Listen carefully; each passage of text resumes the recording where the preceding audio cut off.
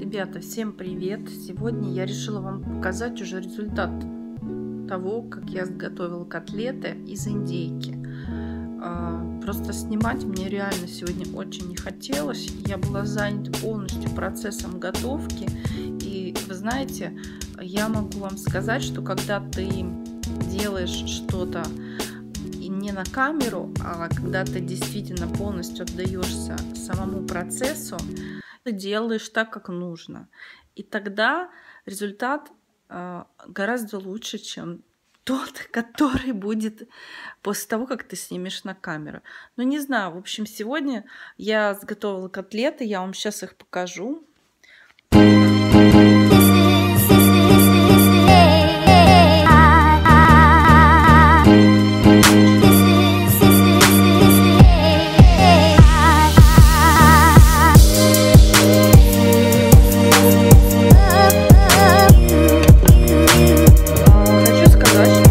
Сказал, что ну, они вкусные, а, поэтому результат, можно сказать, удался. Но опять же, друзья, надо понимать, что фарш из индейки, он очень э, такой мягкой консистенции, похожий на зубную пасту. И так как он был очень сильно э, жидким, то пришлось э, делать максимально, ну как сказать, э, большую такую массу для того, чтобы она не расползлась, потому что если ты делаешь совсем маленькие такие вот котлетки, как, как некоторые, например, считают, то получается очень зажаренная котлета. Я не люблю такие котлеты есть, получается больше похоже на такие, знаете, корочки. А я не люблю сильно жареные котлеты, потому что это, во-первых, вредно, во-вторых, э, честно сказать, не очень люблю. Вот. А эти получились, на мой взгляд, удачнее. Самое интересное, что когда я начинала готовить, я попросила сына натереть лук на терке. Кстати говоря, это лайфхак такой очень классный. Почему? Потому что когда ты жаришь лук, и до этого ты его режешь, ты, во-первых, не можешь его так мелко порезать если ты не специалист, вот, и получается эти крупные куски лука кто-то вообще его терпеть не может. Например, у меня муж и сын, они вообще терпеть не могут лук э, крупно порезанный, и они просто даже не будут есть блюдо, если он, он они обнаружат лук. Но по вкусу они любят все блюда с луком, и иногда они просят сделать э, сухой лук, уже жареный лук, который продается в пакетах. Я вот, кстати, покажу.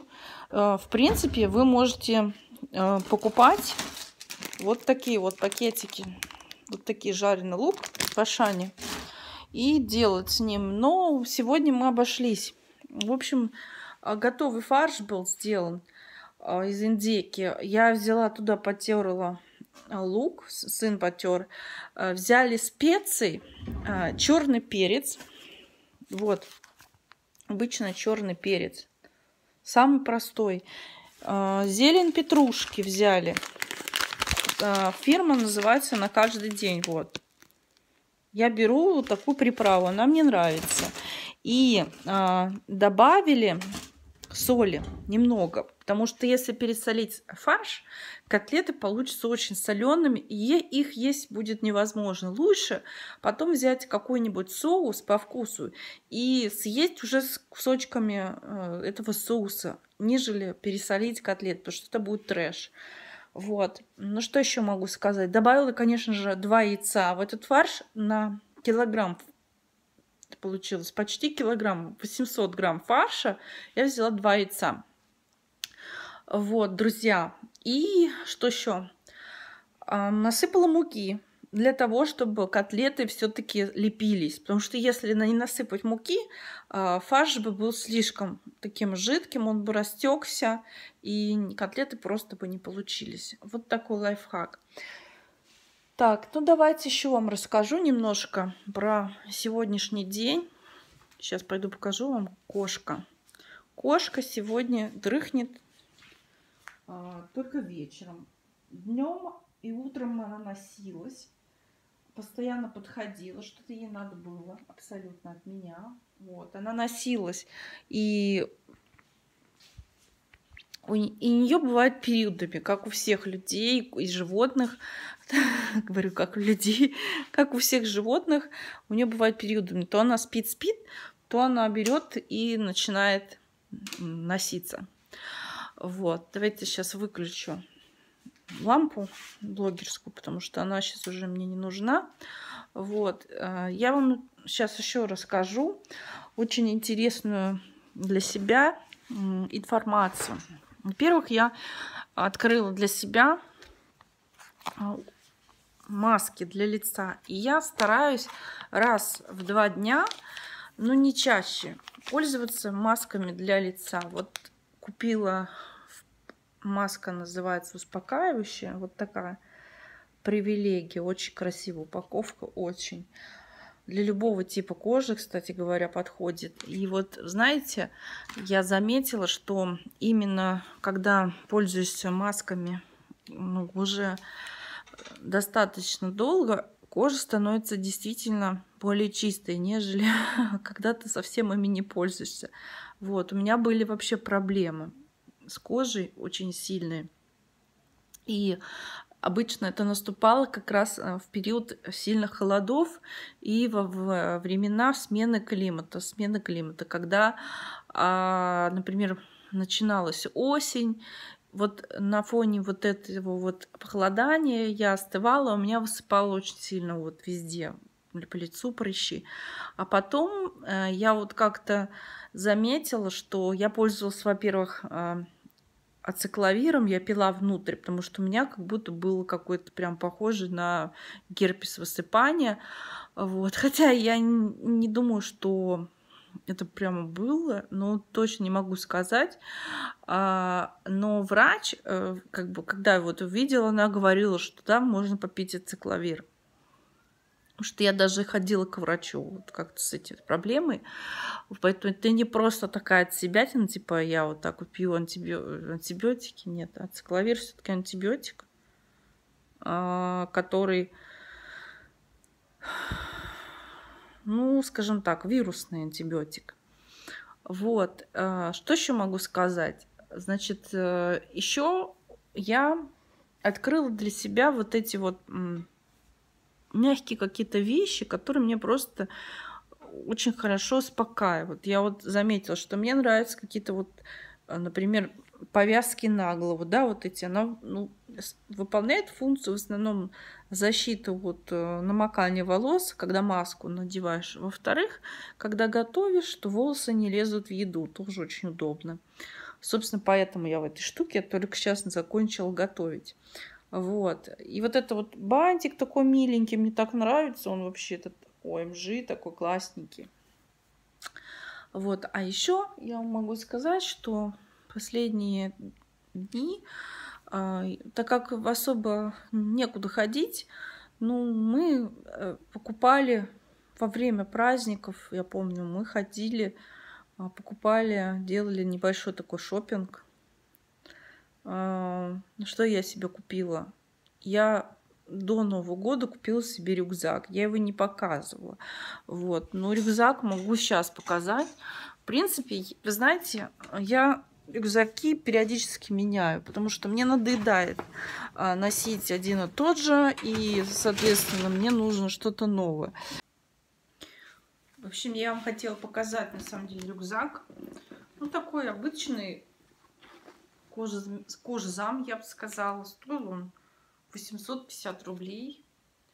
Вот. Магазин «Смешные цены», мой любимый, где я покупаю практически большую часть сумок, обуви, пуховик, пуховик покупала.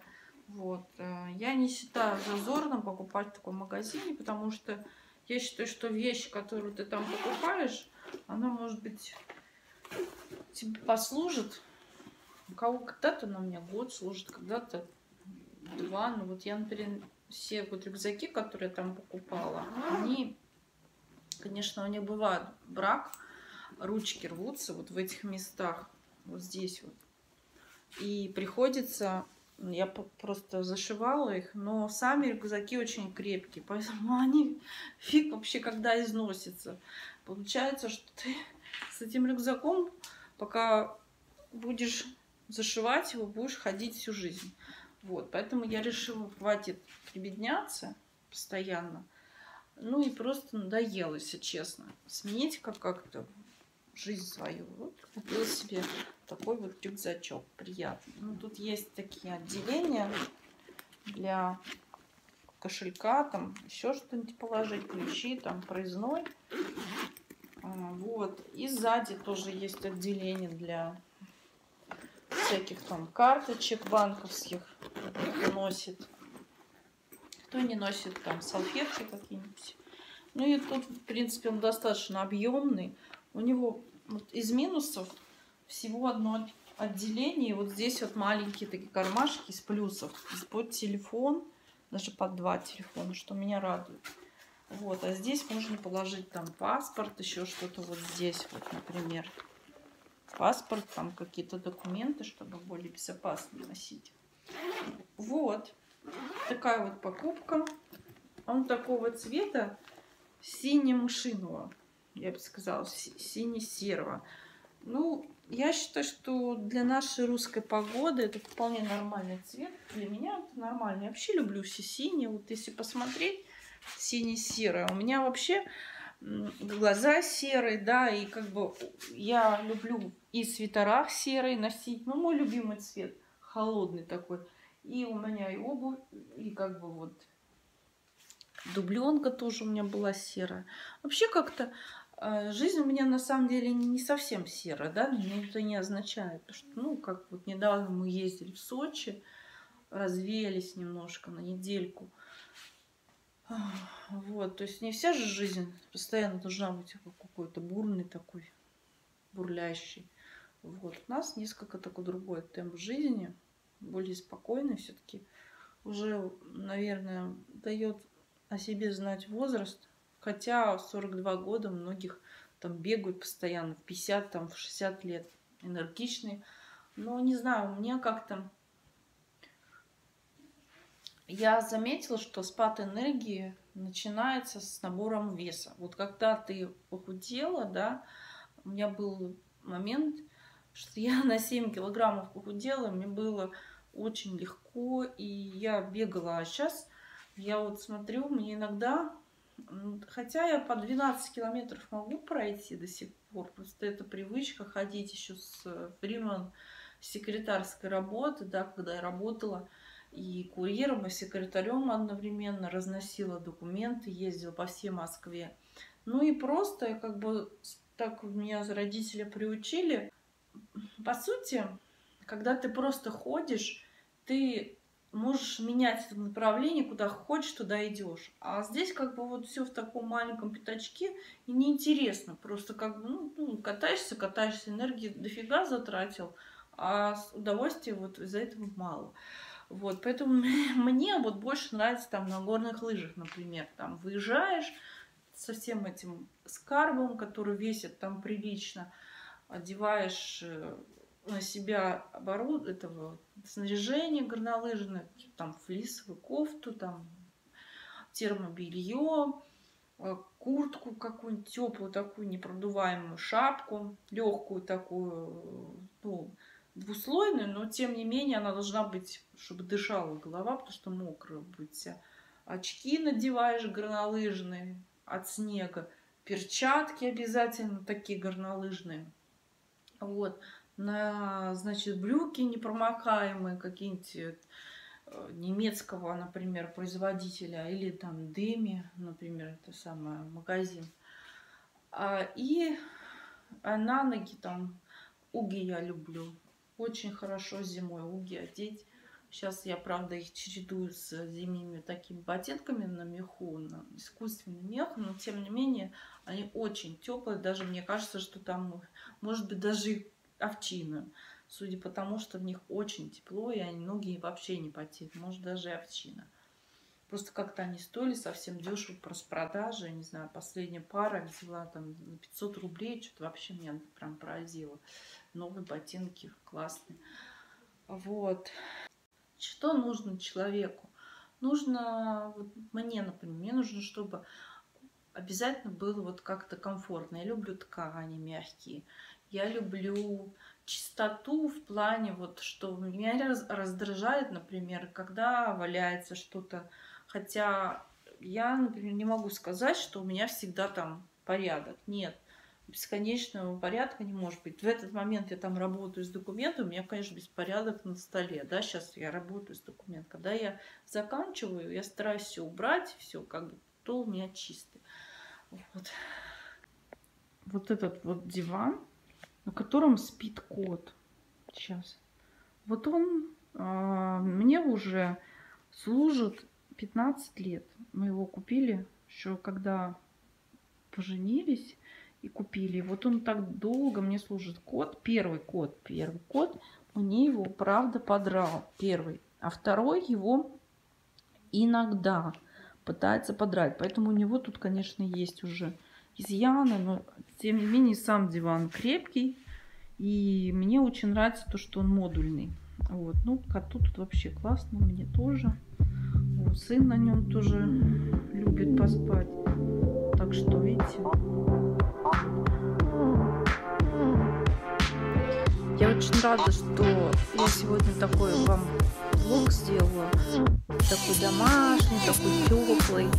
Очень хотелось, чтобы вам было также хорошо и тепло, пока вы проводите время с моим каналом, смотрите меня. Поэтому сейчас я вас просто приглашаю э, под этим видео поставить колокольчик и подписаться на мой канал, поставить лайк и ждать новых э, влогов, потому что я сейчас стала снимать практически через два дня. У меня каждые два дня будет выходить видео. И я буду стараться выкладывать, ну, по возможности, вот так вот, почаще. Так что, друзья, ждите от меня новых влогов. А вам всего хорошего. Пока-пока.